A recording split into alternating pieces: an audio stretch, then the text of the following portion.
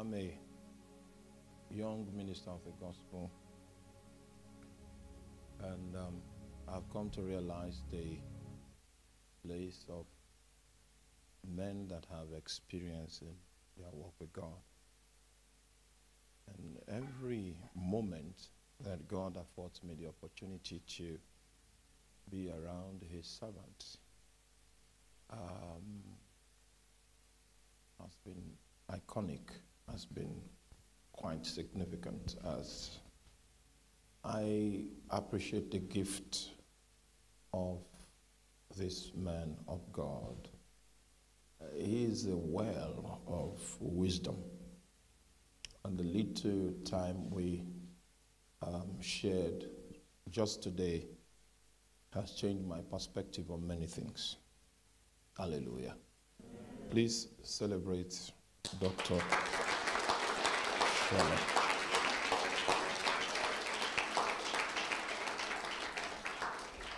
Amen. Lord, tonight we ask that you stretch forth your hand, open the vistas of heaven, cause us to see from the right perspective, so that we'll know when and how to take our journey. Grant, O God, that the least among our numbers will become as strong as David. In Jesus' mighty name. Amen. Amen. You may be seated. Turn your Bible to the book of Acts, chapter 10. We are still looking at uh, shifting into a new dimension. Shifting into a new dimension. Now, I need to tell us a few things before we read Acts chapter 10, verse 9. Can you reduce the volume a little? Tell us a few things. Amen. Before I read Acts chapter 10, verse 9.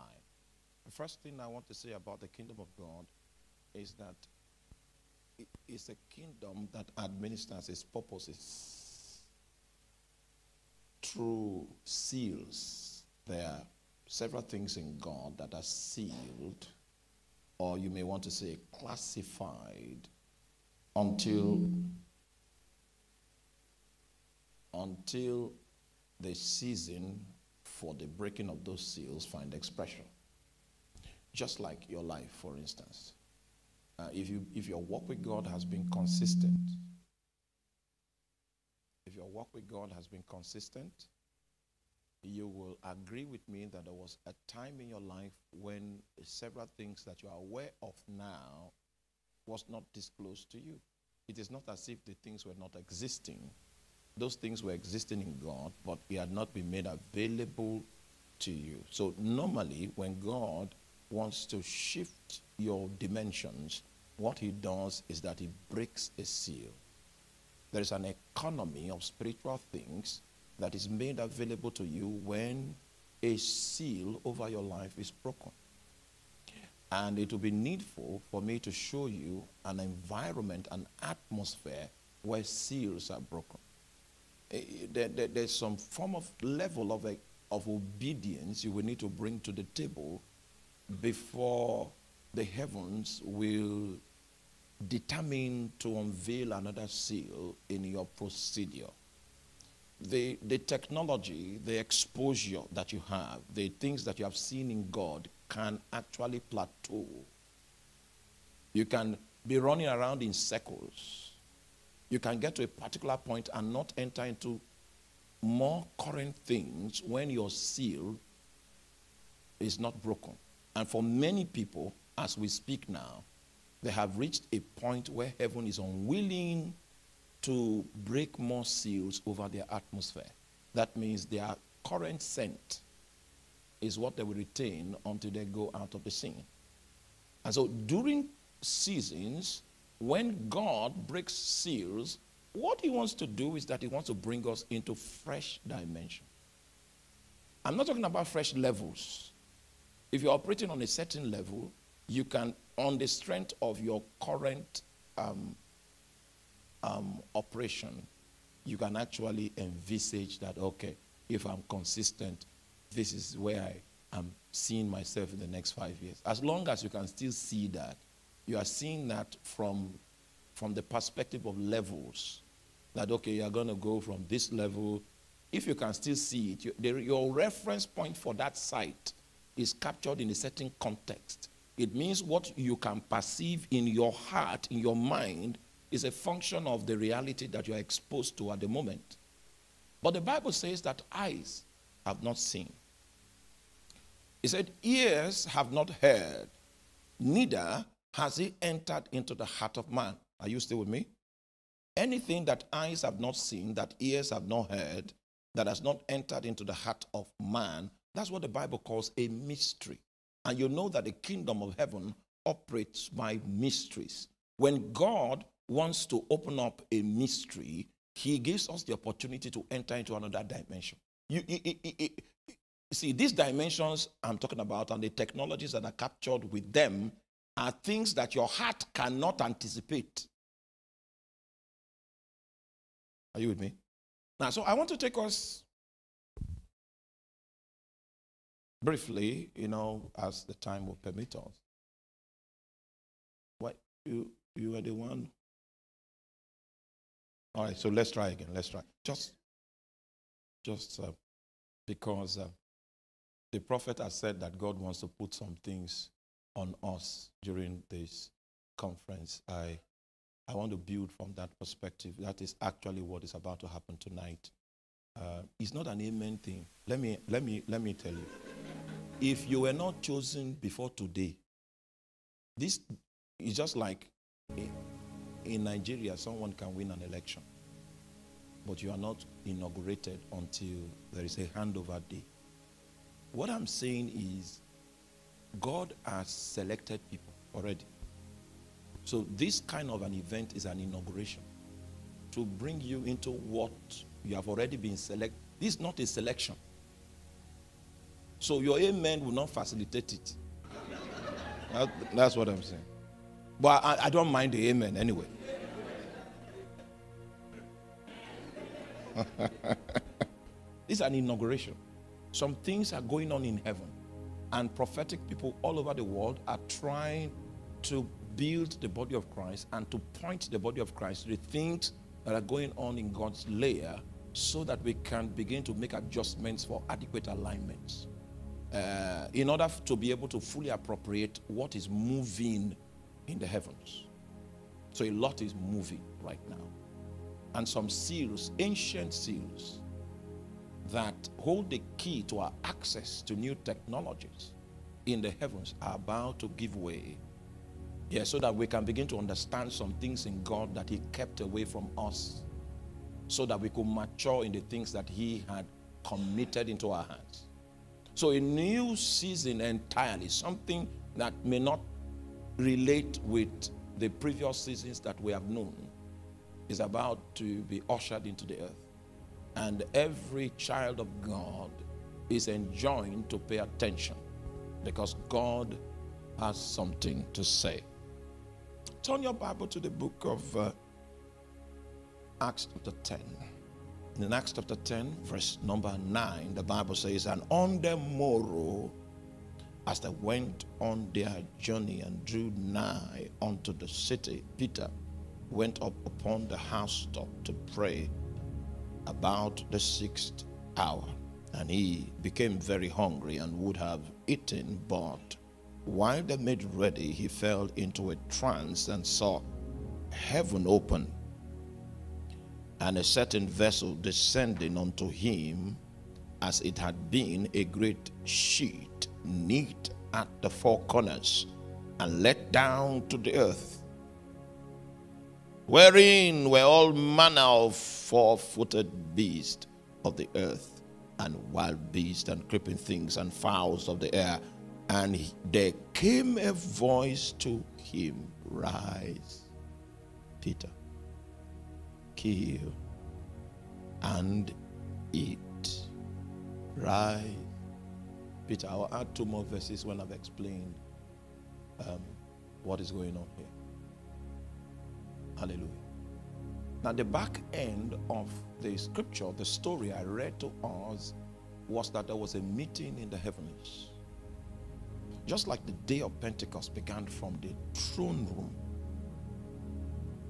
It was from the throne room that the rushing mighty wind came from and invaded the upper room. So, if we want to tell the story of Pentecost, we need to understand the politics that took place in the throne room because the upper room was a mere victim of what took place in the throne room. And in this particular occasion, there was a meeting in the throne. And the meeting that was held in the throne room, there was a decision that was made. The decision that was reached in the meeting was that it was time for the gospel to be released to the Gentiles. And in that meeting, I can imagine that um, um, maybe I need to show us a scenario, a prototype meeting in the book of Zechariah so that you can understand eh, how the interactions of such heavenly meetings and, uh, and the, the quota and constituencies that must be filled in these meetings before the meeting can actually take place. It, it, no need, no need for that. No need. No need. Um, there was a meeting. And the conclusion of the meeting was that it was time for the gospel to invade the Gentile. The conclusion of the meeting was also that Peter was recommended as an agency that will be used to facilitate this new dimension of heaven's invasion strategy. I hope you know when policies like this come from heaven, what heaven makes available in order to make it efficacious is that special graces are released. I'm not talking about graces that people are used to. Special ordinations. Special offices among territories are created to accommodate the uniqueness of that which God wants to unleash. And so Peter was the personnel that was recommended to pioneer this new phase of kingdom possibility. Now, I'd like you to see, okay, that's what happened in heaven. Are you with me? You are not with me. Maybe I need to change the scripture. Maybe that, that might help. Maybe I need to go to the book of John and plainly look at what Jesus said. Maybe it might help with understanding. That's the heavenly aspect. The earthly aspect was that this man woke up hungry. Peter. Then he went to the housetop to do something like prayer. But the waves of hunger hit him so hard, and he would have aborted the entire prayer protocol if not that the, the, the, food was not ready. Because the Bible says, while they while they made ready, he would have eaten. But while they made ready, he, he was doing something like prayer. there was, I want you to know that there was no serious prayer in that thing that man was doing. But the point was this heaven had mentioned him. And even though his prayer was hypocritical, it was he was just trying to use it as a pastime before the mushrooms can come out, before all those other things can come out. As, as hypocritical as the prayers may be, it was enough reason for heaven to disclose the, the consensus recommendation and the new policy line that heaven had adopted to him. a seal had been broken. And because there is a seal, if you go to the book of Revelation, you will see seals, kingdom strategies that are captured and sealed up. And the moment they break a seal, you will see that there will be a vision. A vision so that uh, uh, uh, men can be brought into the great and mighty things that they do not know. Because the content the information that is sealed up in the heavenlies contains things that are beyond our scope of knowledge that is intended to affect our civilization. A new technology from heaven is about to come into the earth. So God will need to encounter you to get you to think outside of the box, outside of what you are used to, to contemplate things that are coming down from heaven.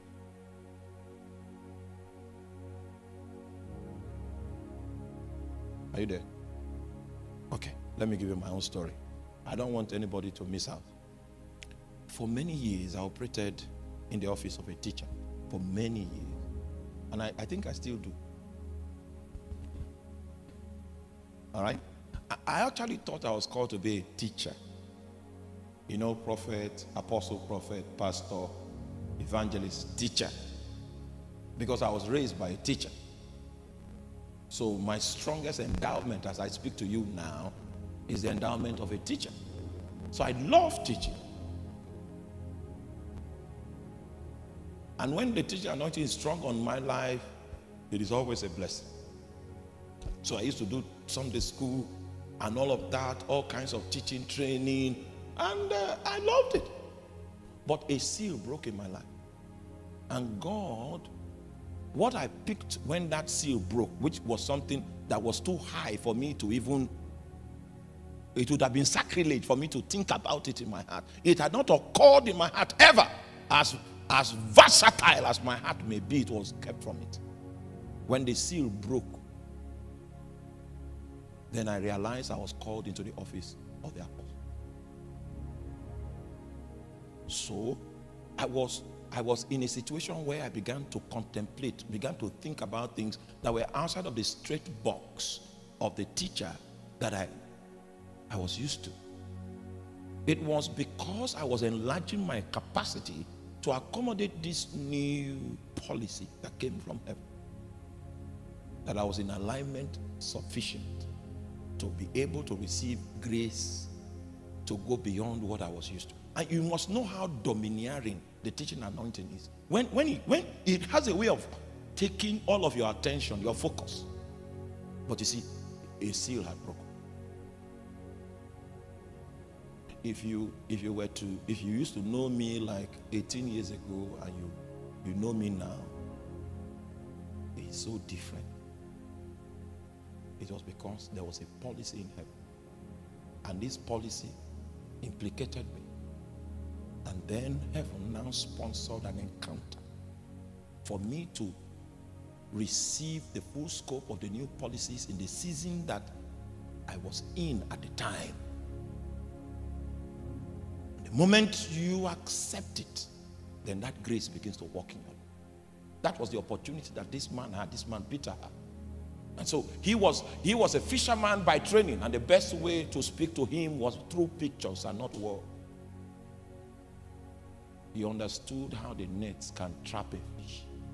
And so heaven spoke to him in a language that was most suitable to his understanding. A sheet came out of the heaven, and trapped in it were all kinds of creatures. So he understood clearly that God was speaking about the Jew and the Gentile. And he said, Not so, Lord. That was the undoing of Peter. Because the book of Acts of the Apostles is a book of actors. The book was written because the apostles acted under the influence of the Holy Ghost. And there were two major actors. The entire length and breadth of that book would, would have been about Peter.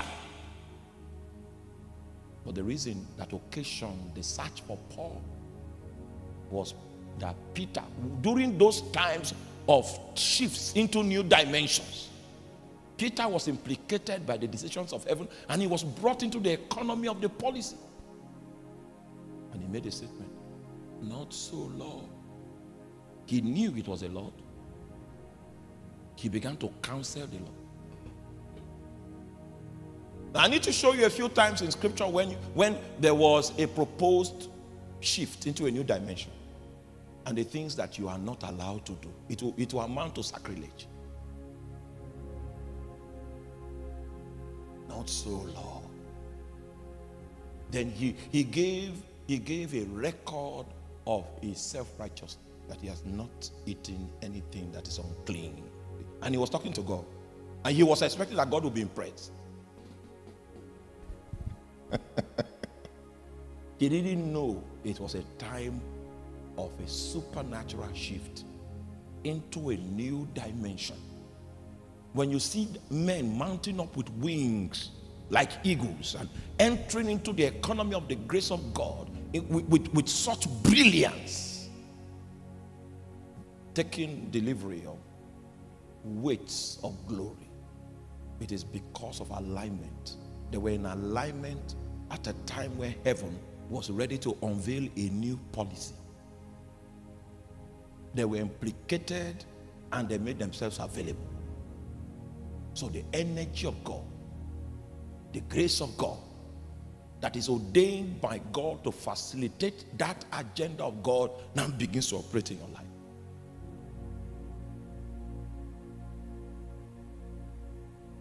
And in my own opinion, we don't really work for God. He works through us.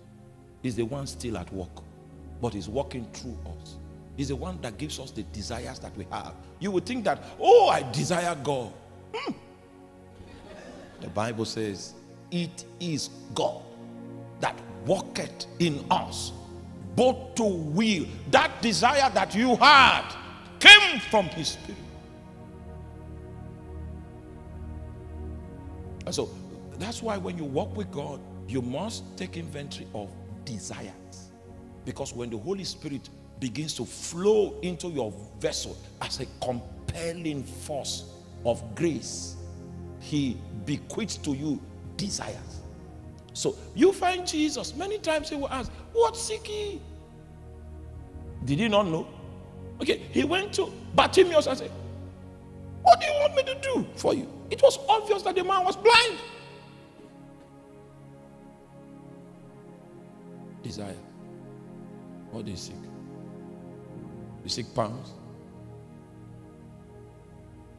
Sometimes we fail to understand as legitimate as it is for you to get married, that's not your purpose here.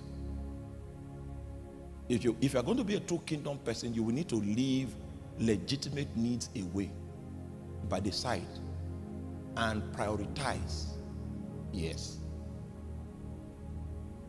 Oh, when I, I, I told you my story, I had money to buy a vehicle every month for seven. But God will not have me have a vehicle in Lagos. And what he was teaching me was that, see, it is not what you perceive your need to be that is your need.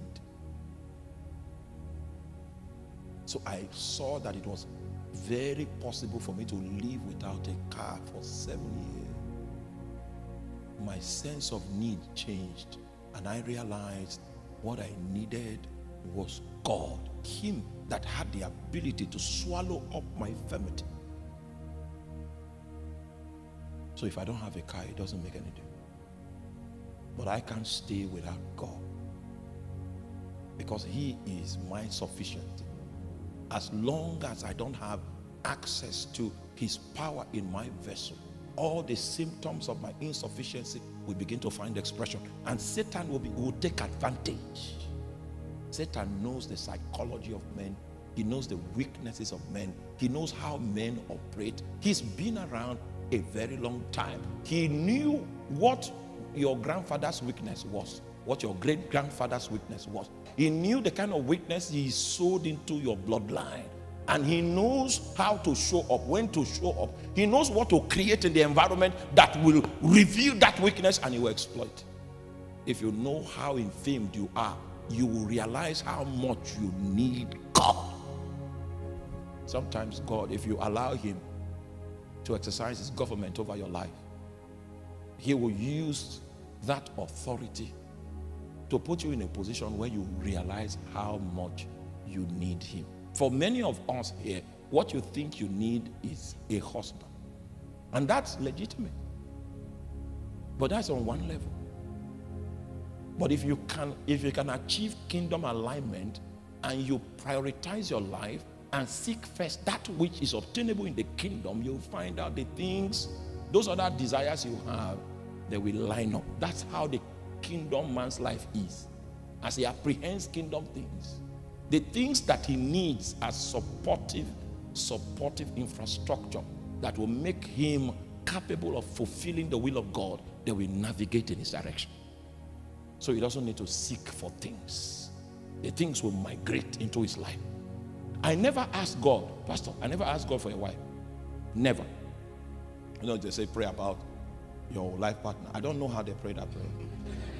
I don't know how they pray. I was just doing my thing, just doing my thing.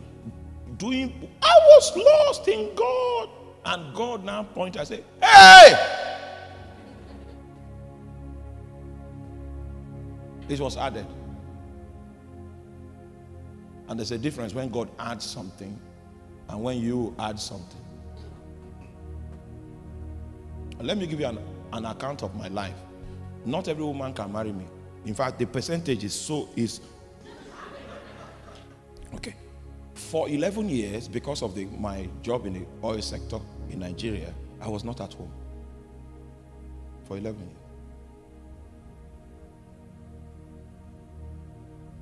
How many women will stay? It's not about the, the, the, the, the public appearance of saying, ah, I'm married. No. God gave her to me and she understood the risk. Because I was already lost in God. When God pointed her. And I asked for, you know, my wife is dark in complexion. I said, because my mother is fair, I said, Is there no white, uh, fair version of. And the Lord told me something. He said, There is no fair version of what you need on my shelf. It took me 10 years to know why he said.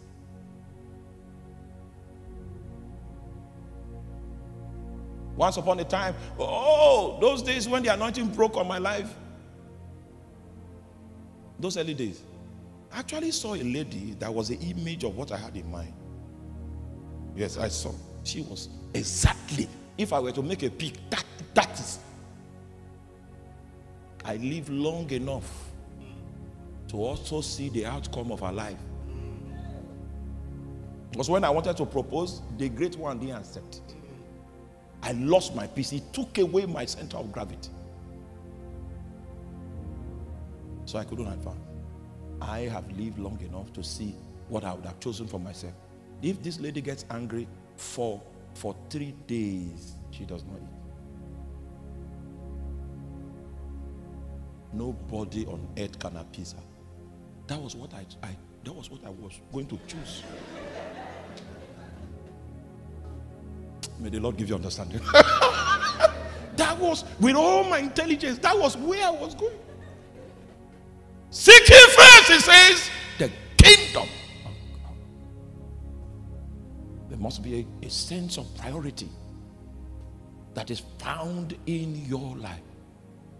And then you give God the opportunity to command the things that you need to fulfill your divine destiny to navigate in your own direction. Oh, if you begin to seek money, mammon will possess your soul. And then you will see life from the perspective of the doctrine of Mammon.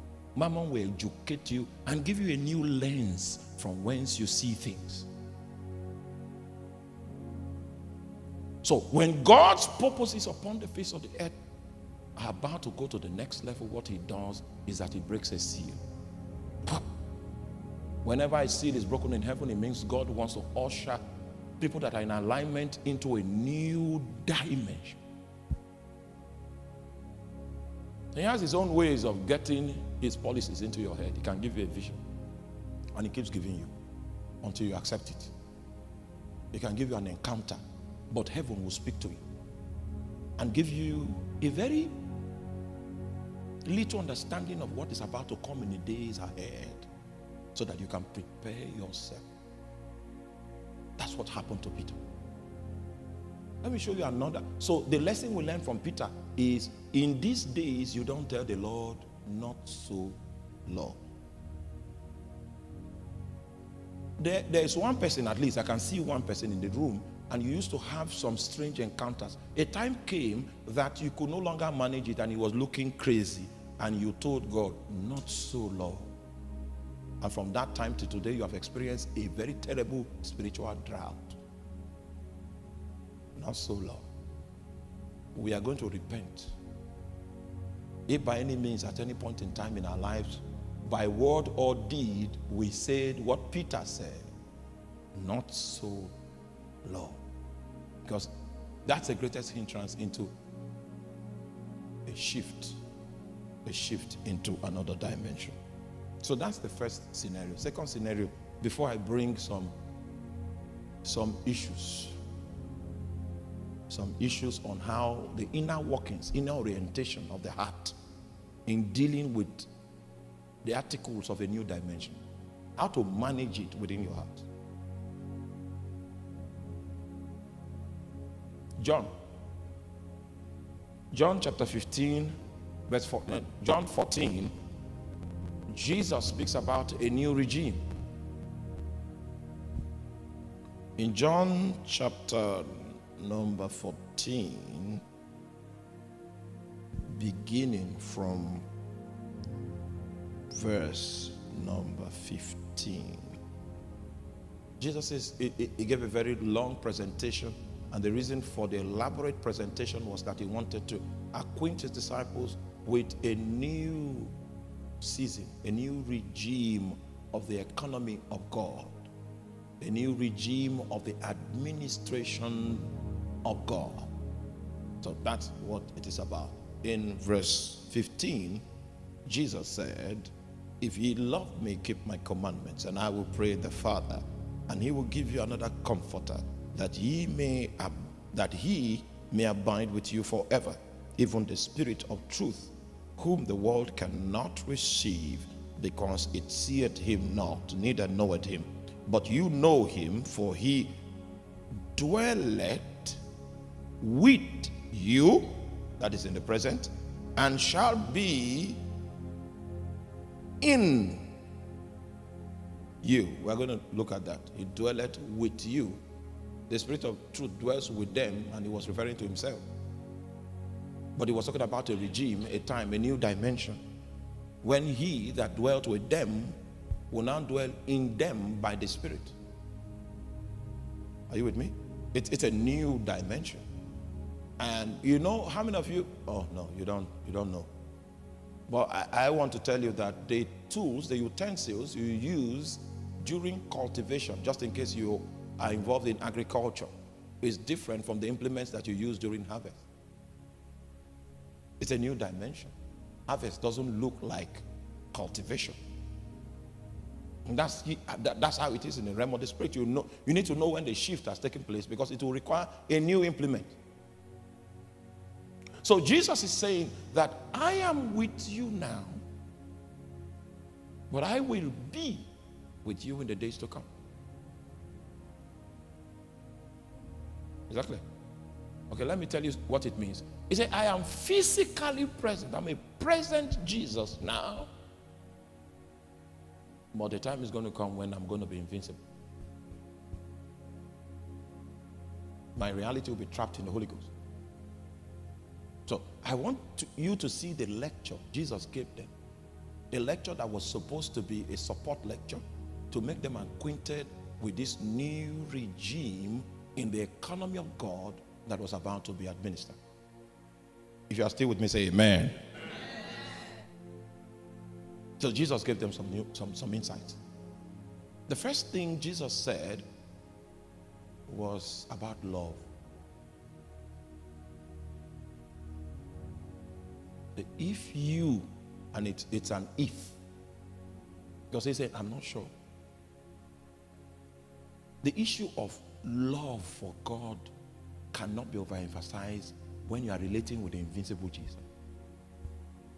Your link, the basis of his government and his regulation of your life is connected to your love, your passion. So he is revealing here that the proof that you love him is obedience, not tears like many of us do during worship. Meanwhile, We like seeing people cry anyway. Under the influence of heavy worship, and you cry. Oh, but that tear, the tears you shed, is not a mark of love. It, it will be in your interest to know that. Jesus, said, hallelujah. Jesus said, I'm going to leave you guys. You will not see me physically. A new, everything has changed. And in those days where I will be trapped in the spirit and I will not be physically present with you, the issue of love is critical. And the proof that you love me is that you obey me.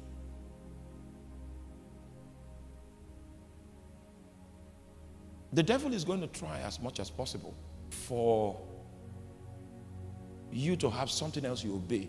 Man was created as a creature of obedience. That's how we are wired. You obey something, you must obey something.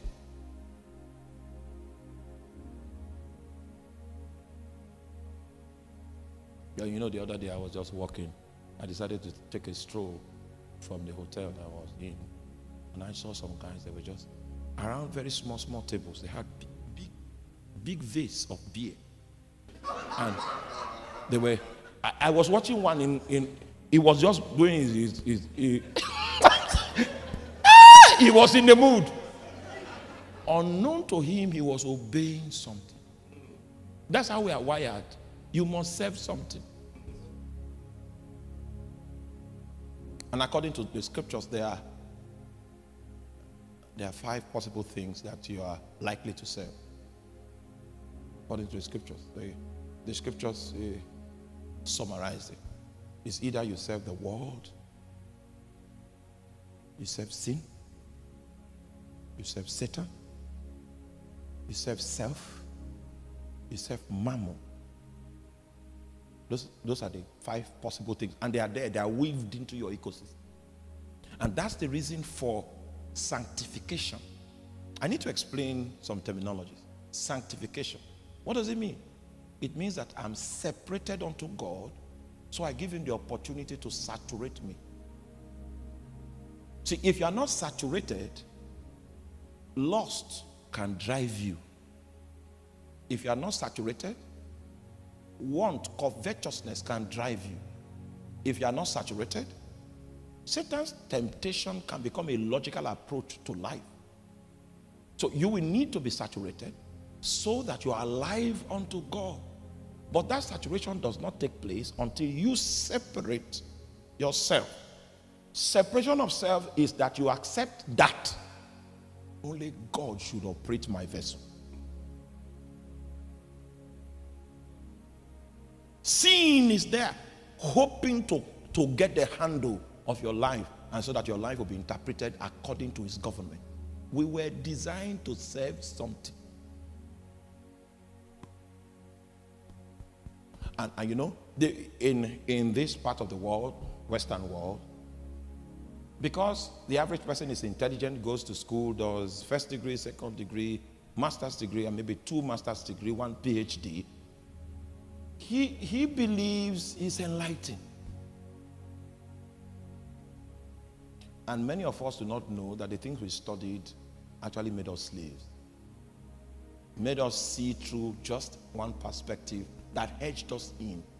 If God wants to liberate you, He gives you spiritual knowledge through the Holy Ghost. But there's not much God can do in your life if you are not part of those that have decided to be separated unto Him. We have, hallelujah. Oh, you're not with me. Separated. Yes. You see, when you become separated unto Him, you become a candidate for a saturation. And when you are saturated by Him, you'll be living life from His perspective. So you are going to be a creature that is very different from normal mortal. And mortals are going to give you names. No, you are, you are strange, you are Jew, you are that. That's a proof that you are not in the ecosystem. You are off. You are in this world, but you are not of it. It is clear that your preferences point to the fact that something else has caught up, has taken your passion. So if we are talking, are you are you there? You know that scripture I read. I don't know if I read it in the last conference we had. The scripture about um, about Saul when he was going to visit Samuel, and Samuel told him, that the spirit of the Lord will come upon you. You'll be changed into another man, your temperament. So there are levels of saturation of God that can come on your life. Your current temperament, your current wiring will change. your current disposition will change. That comes as a result of saturation. You know, the first, we spoke about sanctification um, briefly during the last day of the supernatural shift. I'm separated unto him. I, I don't want to serve the world. The world has the things it throws at you. It's trying to capture your attention and give you an, a, a world view to life. But when you are saturated with Him, you see from a different vista. That which is attracting people, you are even wondering how it attracted them. Are you with me? There was a time in scripture in the book of Songs of Solomon, you will hear wisdom crying in the street. You know why wisdom was crying? Wisdom was crying because he is the principle, he is a reality by which our lives should be governed. So wisdom is surprised that we are going about our daily life without him. So he's what is ah, you copy. He stands at the corner of the streets. Only men that are saturated, men that separate themselves to him, that you see, the only reason why I live huh, is because of him. Meanwhile, the theological basis of the authority of God over our lives is in the book of Second Corinthians chapter 5 verse 15 the bible says in that he died for all that they which live should no longer live unto themselves but unto him that died and rose again that means are you here oh you're not here now let me explain that scripture to you are you with me the principle, you know, God is a God of ways. He has a lot of wisdom. But the principle he decided to adopt in achieving our salvation was substitution. All right, so Jesus took your place in death. That's not the whole truth. He took your place so that you will take his own place. That's the that's the full formula of substitution. So if you are a recipient of the salvation which cost Jesus his death, it is therefore illegal for you to want to live life the way you want. You lost you lost that opportunity by your salvation. The only door left for you to tread upon is the door of what Jesus would have done if he were you. That's the only meaning of your own life now. And if Jesus were me, he would be a teacher, like, like I'm doing now. Because it, it is not, is not what I intended to be. I was being programmed to be a lecturer. Yes. I could, oh my God, those days, I don't know if I'm still intelligent, but I used to be intelligent. I don't know anymore. Those days, I can cram this book, this one, I'll cram it, I'll lift it in my brain. If you have an exam, I'll drop it for you. That was how I, the only reason why I didn't read medicine was because I couldn't see blood. I would just, I'll become the prayer point. So I, and I had this ability to teach, it was inherent. So I believed that I was to be a lecturer. I would have been a professor by now. That was what I wanted. Then the Lord now said, There is all the script written about you, there is no one that says you'll be a lecturer. You're called to be a preacher of my word. So I spent years of study in this book because that's that's what Jesus would have done in my vessel if he were physically present. I've lost the right to choose to be a lecturer. I lost it long ago. Are you with me? If you are not separated unto him, it will not be possible for him to endue you with that level of anointing that will make you operate in another dimension. Because the Bible says that when the Spirit comes upon Saul, he will be changed into another man that's another man that he cannot be on this measure. He's going to be another man when that dimension of grace comes upon him. He will pull him into another state of existence. His basis of evaluation will be different. His scale of measurement will be different. His outlook will be different. Because there is an investment upon him that brings him into another possible level of application of himself, which is that level which is captured concerning him in the creed of the Lord. So, what makes us who we are are the dimensions of saturation that we carry. You want to operate in a new dimension? It, it comes by saturation. And that saturation cannot take place except you become separate unto. He says, sanctify yourself. He says, separate yourself. Purge yourself. Today and tomorrow. I'm going to do wonders. Something beyond the norm. Something that you are used to. It, we have decided in heaven that this is the way of things now. But you need to do something upon the face of the earth in order for you to come into alignment with the policies of heaven.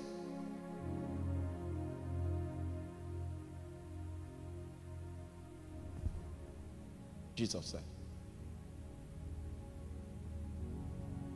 If ye love me, keep my command. Become an agency through which my will can prosper in the earth.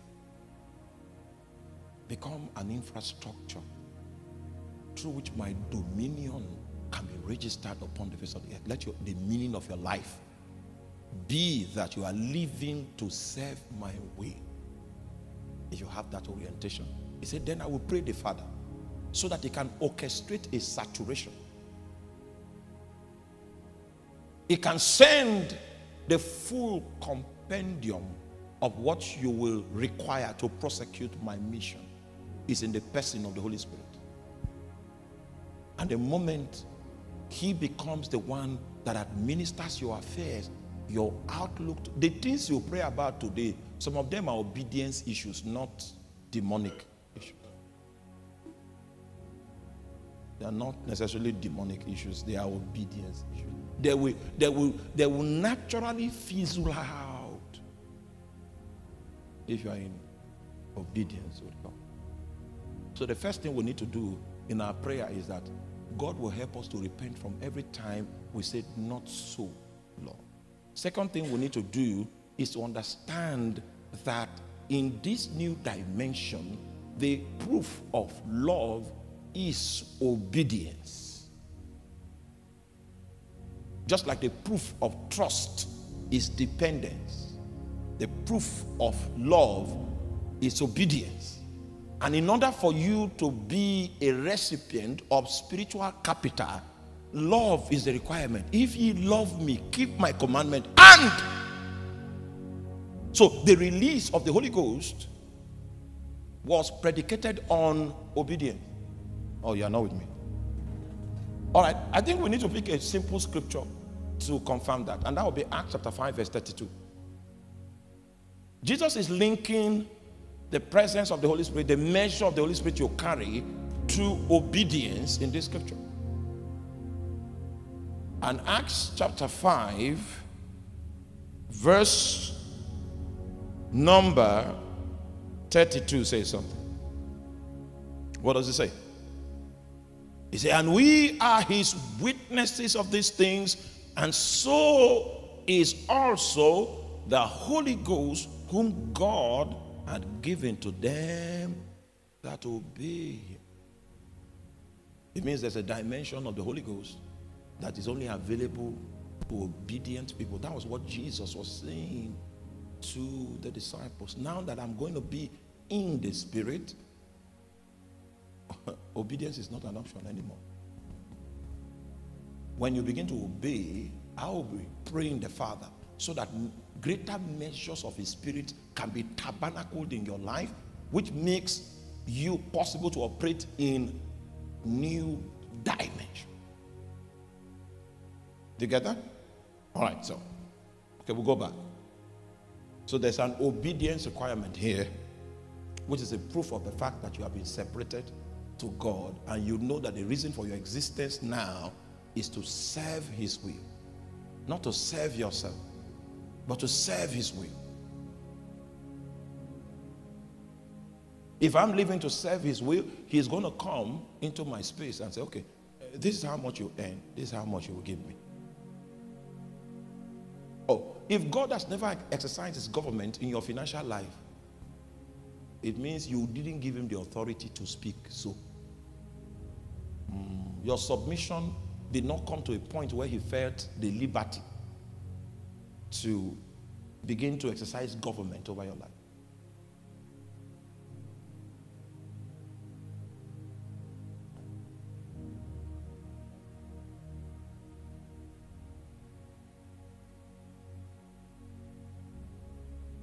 I and my wife can have a misunderstanding and I walk away.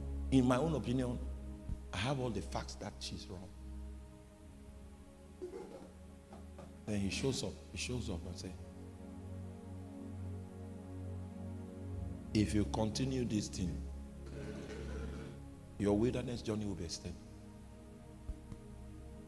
Say, are you not seeing this? Then he won't talk again. So, because of what I have with him, I love him. I don't want to lose him. I will go and do what? And obey. Even though in obeying I die. Are you saying what I'm talking about? The love for God that you have becomes the basis by which He constrains you not to walk in the flesh. If God cannot constrain you, it means there is no connection of love between both of you. Because the instrument is going to use to exercise his government on you is a love that only you and him know about. So when you hear people like Peter say, silver and gold I do not have, but such as I have. What's the meaning of that? He was saying, I have something in common with Jesus. And that thing I have can sponsor this miracle. So the question is, what do you have with Jesus?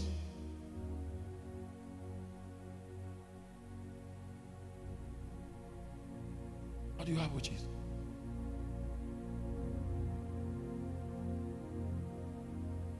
One of my pastors, his mom came to me and said he saw his son dead. I said, No, people don't die around me. The pastor, I saw him. It's okay. I believe you. I called him from the field. I said, You stay with me now for the next few months. Your mom said you die. Now, this guy was trying to hide a brain tumor from me. He had a brain tumor.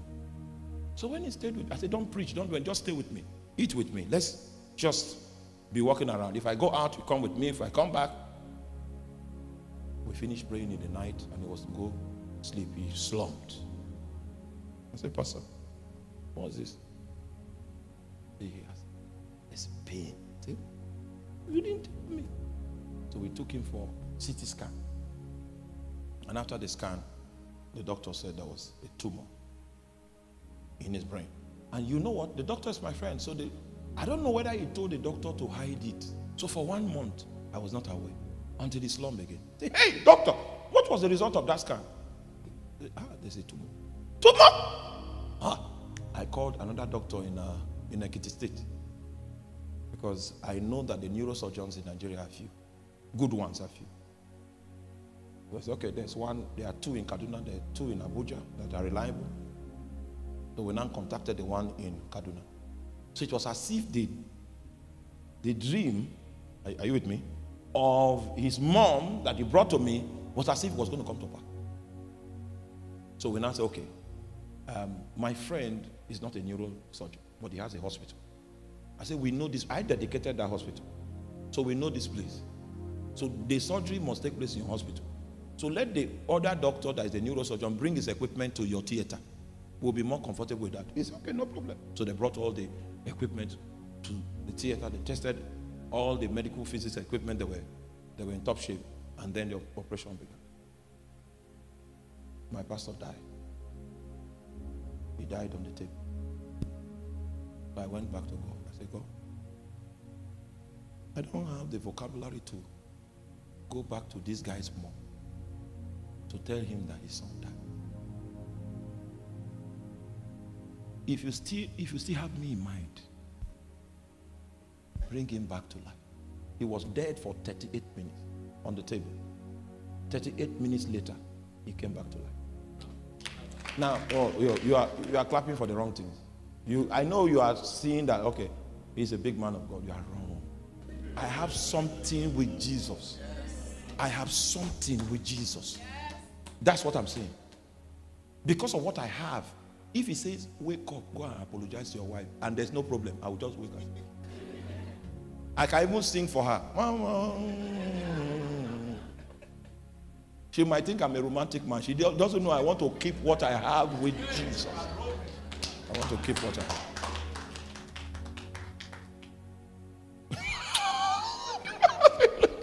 Hallelujah. I want to keep what I have. If you have something, you will know. Nobody will teach you to obey him. That's the only way you will keep it. I will go preach in big conferences and everybody is hailing me. But there was something I said, Jesus was hungry. When I finish, I go back and lie down. Sometimes he will tell you, don't preach again for the next two weeks. You talk too much. Go and sit down. So for two weeks, I'll be telling him, I'm sorry. I'm sorry. For two weeks. Oh, you know why? You might say, oh, I have something. The way we behave, we that have something the way we behave is different from normal people. Normal people can come and lie and say, and they'll be excited. We, you say something that he did not approve for you to say. It's not as if the thing is a lie. He, he, he's already expressing his displeasure. And there's no way you, he can be well with you if he's not pleased. There's two weeks, sit down, sit down, sit down and learn and read the book of Psalms and be wise. So you'll be reading. Then you, you will come when you are frustrated and say, Stand up. Don't do that again. So even when you are talking on the pulpit, you know he's behind you.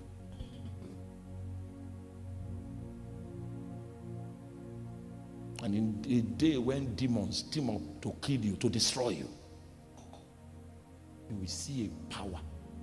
A power that Satan knows nothing of rise to defend you. There are dimensions in God that are occasioned by saturation. And if you want to keep the saturation that brings those dimensions into your heart, you will need to prioritize obedience. So I, I think I've said that. Are you still with me? All right. So I will do something quickly. I'll do something quick. I'll just mention some things and then we'll pray. The presence of God here will pierce people's heart. The one that will happen this night. Because Pastor says there are some spiritual things that we'll be receiving. Things will come upon your heart.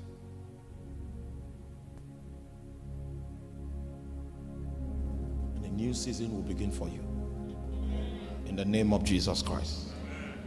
Now, this is what Jesus said.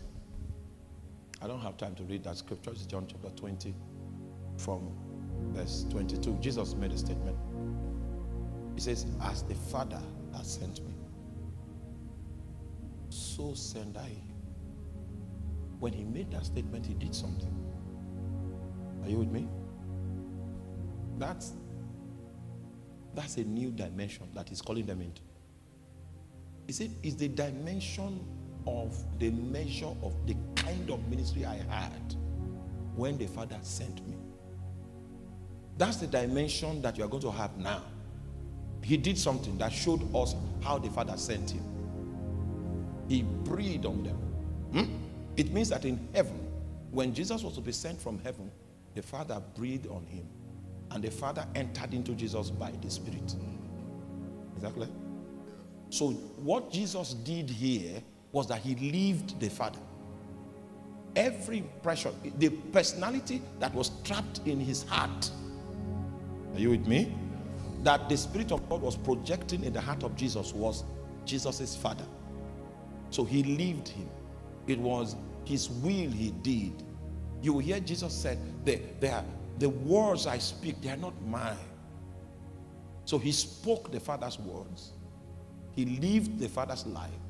He was a mere theater that gave his Father expression. Because the Father blew his, himself into Jesus as the Spirit. So Jesus was commissioning them into the same experience. As the Father has sent me, so send I you. Then he said, Receive the Spirit. So Jesus, asked the Spirit, was the one who was living inside. Exactly. So the desires that came from the Spirit were actually Jesus's desires that were superimposed on their heart. So if we want to see the way Jesus lived his Father, because Jesus is the best example of how spiritual invincible capital is deposited on the life of an individual and the person lives from that standpoint, from that dimension. Oh, did you get that? So I will just mention two things. There are seven things, but I'll mention two things. And then we'll pray.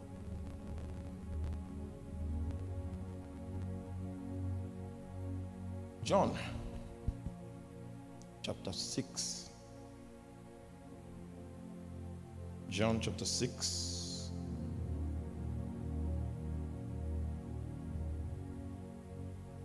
Verse 57.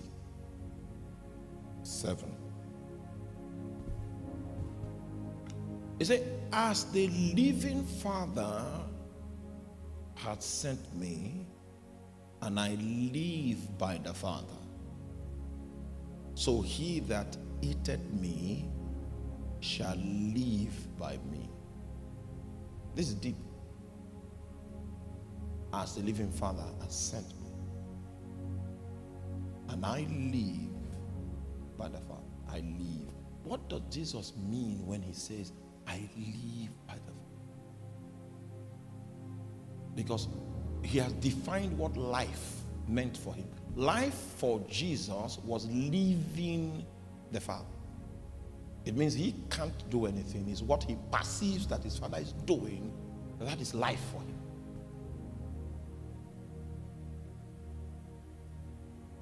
In the book of Galatians, chapter 2, verse 20, which is the summary of the New Testament, is if you want to summarize the New Testament in one verse, is Galatians 2, verse 20. It is no longer I.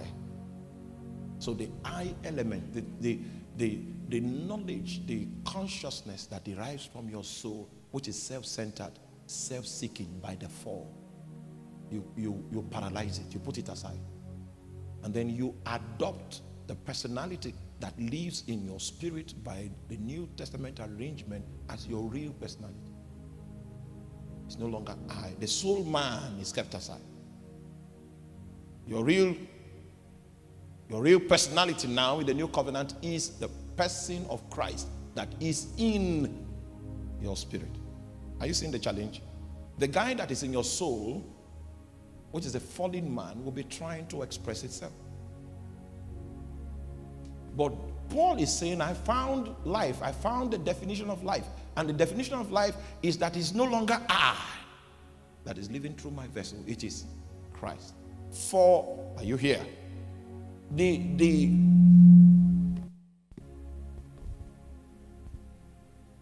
what Paul is saying here is not a changed life.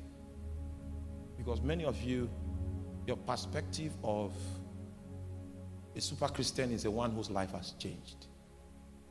Eh, what is going on here is not change, it's not gradual development, it's not approximation. What is going on here is exchange. It's no longer me, it is Christ. That's the that's the story of the gospel. It's exchange, not change. It's exchange. Somebody, somebody might feel because I found some widows and I made commitments that I'm going to see their children through school. And they knelt down and they began to thank me. I say, see, you are wrong. I'm not the one that is good. You are, you are seeing it. No. It is the one that is in me that is doing this. This is not me. So you are thanking the wrong person. The fallen man will not give. The fallen man will not find compassion. But there is someone else in my vessel. It is if you need someone desperately to thank, all thanks must be to him. For it is no longer I that lives. It is not me that is at work.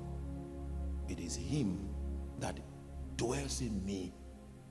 Found that the meaning of life is to adopt him as my true personality. I deny that fallen personality expression from my vessel and I adopt the personality that resides in my spirit as my true personality. That's the story of the Christian life. It's exchange, not change. Okay? That's number one. I'm telling you about that life. When Jesus said, I said, Father sent me. So I live by him. So this definition of life was living the Father. And that was the summary of Paul's experience. It's no longer I. It's no longer I. I was the one that wanted to be a lecturer. And the reason why I wanted to be a lecturer was because I could cram. So I wanted to come to the class without notes and just give them notes, give them notes, give draw diagrams, draw. That's the fallen man. That's how he thinks. He thinks of vainglory, thinks of me. I must be on the stage. Everyone must know that I am sound. That's how the fallen man thinks. But the man in Christ doesn't mind to be hidden. If only God will see him and be pleased, it's okay. Yes. It's no longer I. The regime of the fallen self, it ended so that I can live Christ.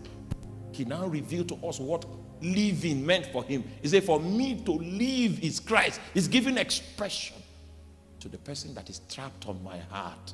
It is my obligation to reveal him through my thoughts, through my act. That's life. That's the kind of life when you live, he begins to give ventilation to you. He's excited. You feel peace. Yeah. Yeah. So for a kingdom man, when you lose your peace, it's a serious matter. It means that there are issues of misrepresentation or God is, is using that as a means to stop you from entering into something that is not his way. Loss of peace is critical.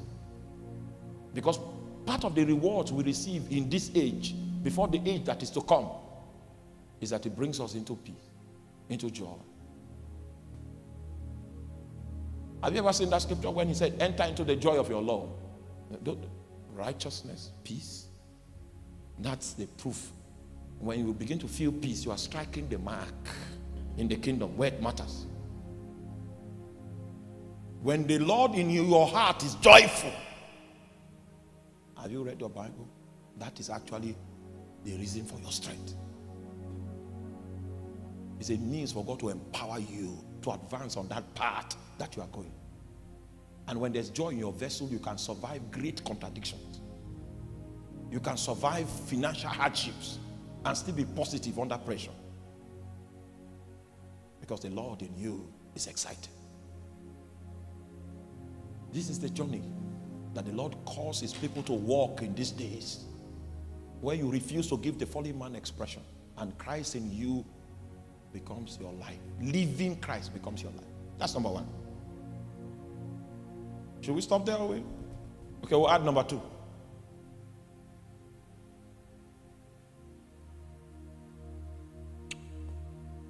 Number two is in John chapter 14. I'll stop on that note, then we pray. John chapter 14.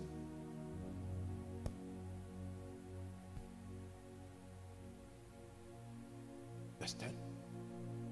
He said, Believest thou not that I am in the Father, and the Father is in me? He's talking about um, a reality. It means they co-inherit each other. He's dwelling in his father, and his father is dwelling in him. And it is because his father is dwelling in him that he can speak the father's words because he hears it in him. That's the same arrangement we have in the New Testament. First John chapter 4, verse 13.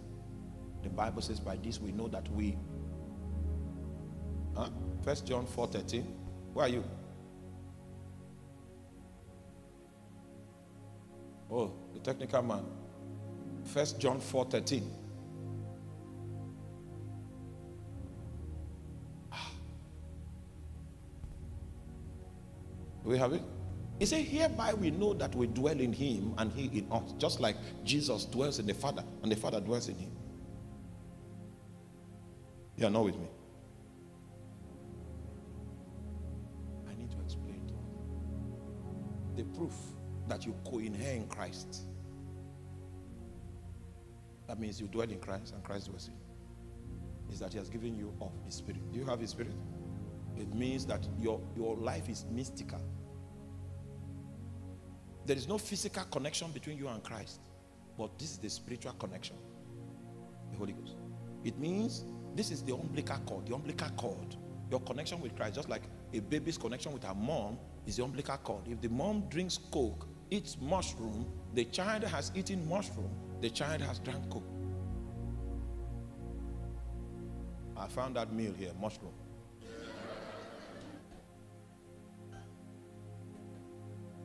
So your umbilical cord spiritually is, is the Holy Ghost.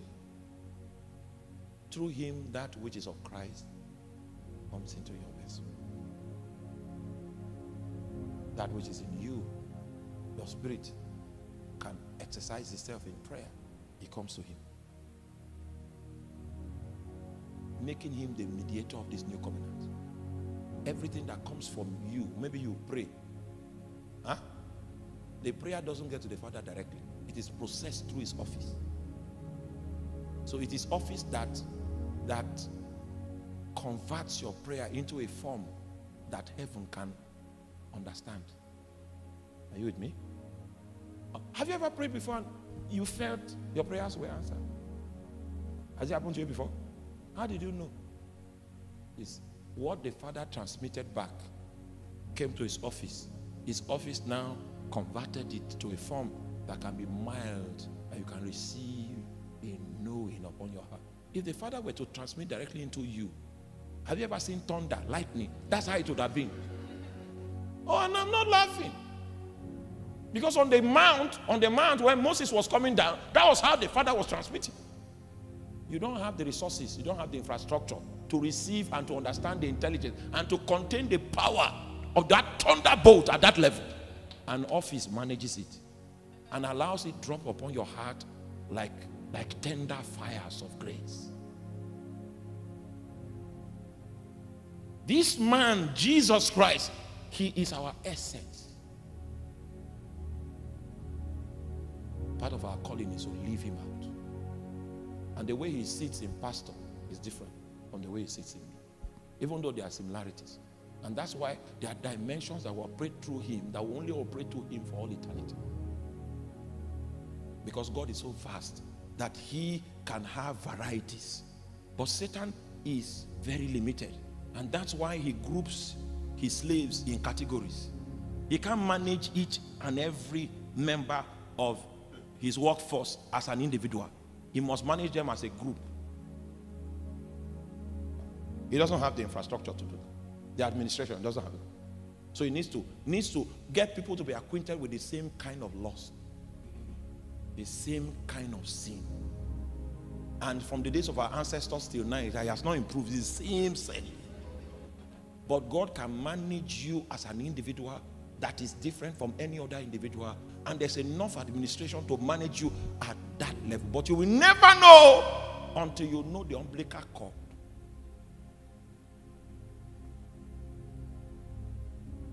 So you will never touch Jesus except you know the Holy The reason why we can't avoid knowing the Holy Spirit, that is the only way we can link to our source. Our source resides in Him. Your life is what Christ brings through the Holy Ghost to you. That's your life. And you don't want to live anything else. I will serve Jesus. I will walk with Jesus. I will obey Jesus. That is your life. I will serve Jesus. I will walk with Jesus. I will obey Jesus. You can be upstanding. Now, we'll stop here today. We'll stop here for today. We'll stop here for today. A new set of functionaries arise in the body of Christ. People that have had unique dealings with God and there are unique expressions of God upon their lives that are designed to shape the body of Christ and make the body competent for the season of the end times.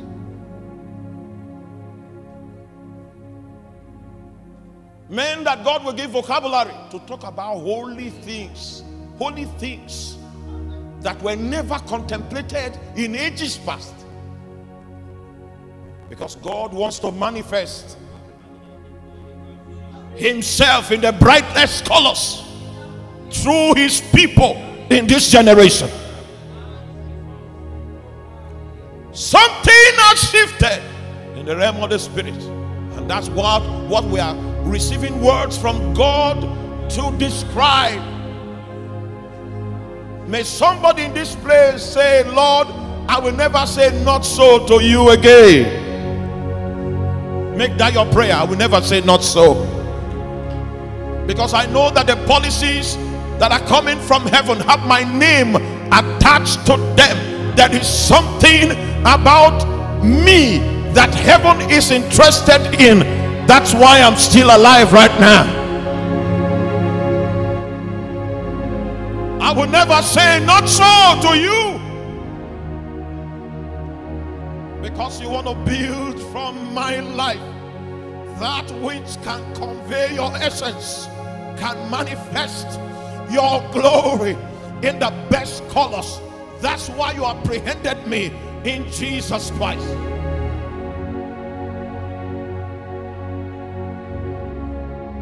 I will never say not so. I will never say not so. I will never say not so. I take koma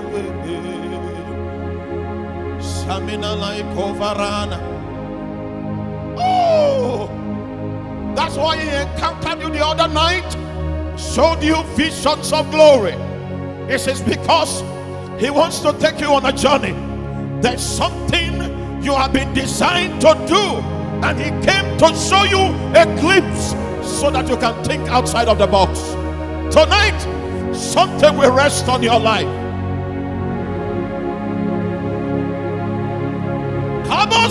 Like. Roske valamante kusabala Kosena Niko Presko Vilamos.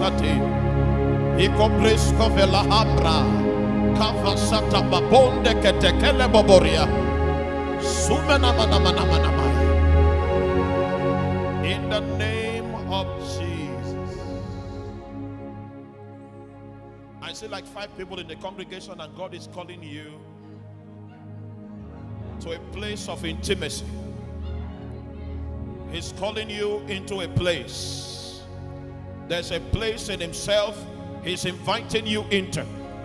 An anointing from heaven is going to transport you into that place. An anointing from heaven will transport you into that place. He's waiting for you in a place. And there's an anointing that will transport you there. It's already coming. It's coming so strong. There are five people. You'll be transported. He's taking you to a place, a place in the spirit.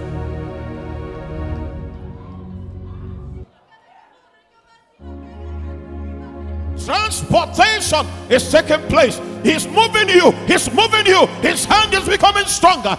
Holy Spirit.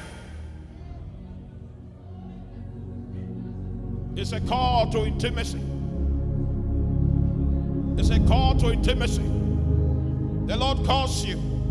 There is a place in His presence that He wants you to enter. And tonight, there is entry I see a linen vessel, a linen garment, a linen garment descending from heaven. There is a linen garment. And the Holy Spirit says to me that this garment is the garment of His presence. There is somebody here, the Lord will reveal His presence to you in the next seven seconds. It will come so tangibly, it will be so tangible, it will be so tangible. You can feel it around you. It will be so tangible. It's a calling, it's a calling to become a messenger of His presence.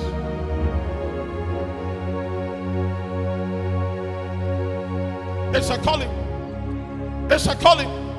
His hand is resting. He's introducing his presence to you.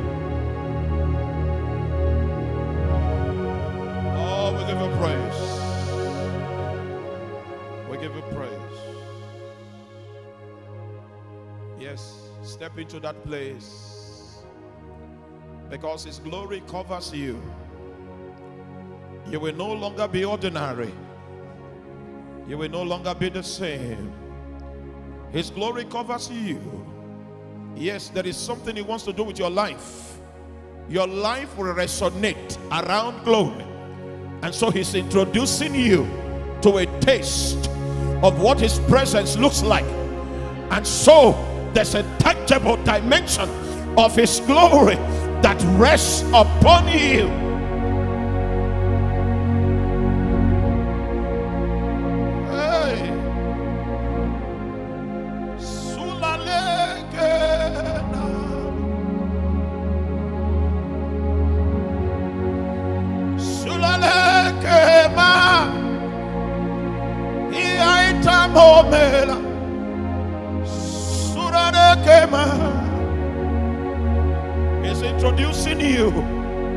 Introducing you so that you can be bold to come unto the throne of grace. So that you can be bold to approach unto him. He's determined to show you great and mighty things that you do not know. Jesus!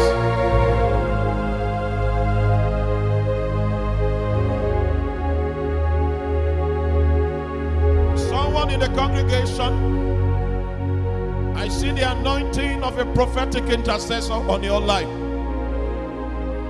The Lord will increase your measure tonight, and you will feel the heat of the grace of God. You will feel the heat of the grace of God. Your rank is changing. Your rank is changing. Your rank is changing.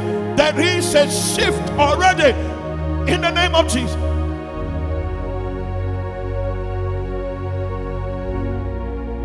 So quickly. If you are baptized in the Holy Ghost, it's time for us to gain ascendancy. It's time to speak in tongues. We are moving. We are mounting up. We are mounting up. We are mounting up. We are mounting up. We are mounting up. Things are beginning to open. Things are opening. Things are opening. Things are opening. Ah! Suvaya Tomila.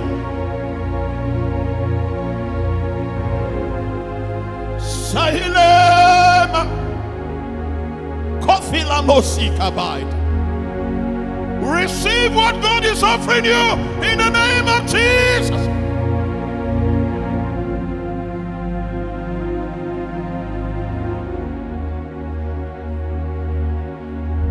Receive what God is offering you in the name of Jesus.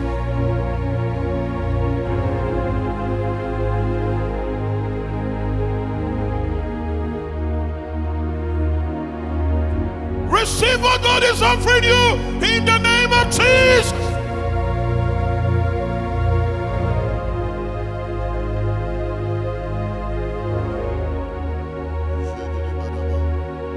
Open your mouth and begin to just stir up your spirit. God is depositing things. God is giving people new prayer mantles. God is giving people the spirit of grace and supplication to press in their closet into that new dimension. The Bible says until the Spirit of God was poured upon us from on high.